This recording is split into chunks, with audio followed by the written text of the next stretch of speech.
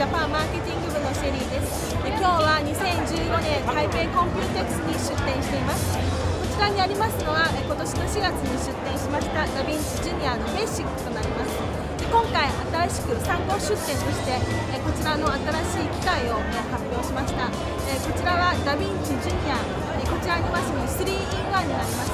3 in 1というのは、えー、とオプションとしましてこちらに AI をスキャナーの機能を搭載しました。そしてもう一つはこちらレーザー彫刻の機能をオプションとしてつくことになります現在日本での発表および発売は未定です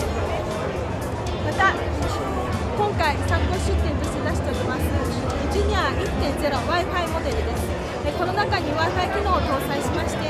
3D プリンターの印刷状況を同じネットワーク内の中でも確認できるようになりますいずれにしましても今後日本で発売していきますのでぜひ